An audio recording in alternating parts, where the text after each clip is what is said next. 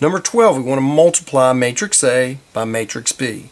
Now, we have to figure out what this is. This is what? How many rows? It is one row by one, two, three, three columns. This is what? One, two, three columns by what? One row.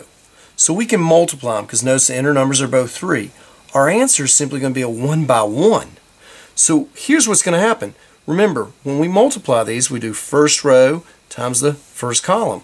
So this answer is simply going to be, we do 3 times 2 is 6, plus the 4 times the 7, 28, and 7 times the 1, 7. That's all one big answer. We're going to end up with a 1 by 1 answer. 6 and 28 is 34.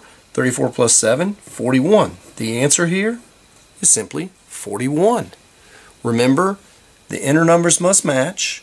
The outer numbers will tell you what type of matrix answer you're going to have. And we did. We had a one by one matrix answer. In this case, it was 41.